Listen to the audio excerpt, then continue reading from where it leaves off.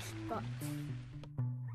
How's it going? This is Ricardo, and in this video, I'll show you how to remove the memory from an Inspiron 13 version 7359. If you're looking for parts for this laptop, go to our website and use this coupon for a 5% off discount. First, unscrew and remove bottom base cover.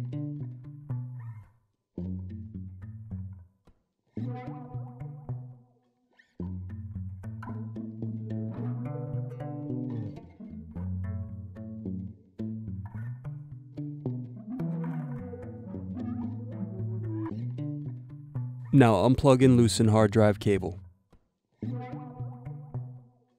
Now unscrew and remove battery. Next separate clips and remove memory. Need more? Check out these other tutorials. For batteries, click here. For hard drives, click here. For wireless cards, click here. Thanks for watching. If you enjoyed this tutorial, give this video a like and subscribe to our YouTube channel. Check the video description below for links to written tutorials and replacement parts.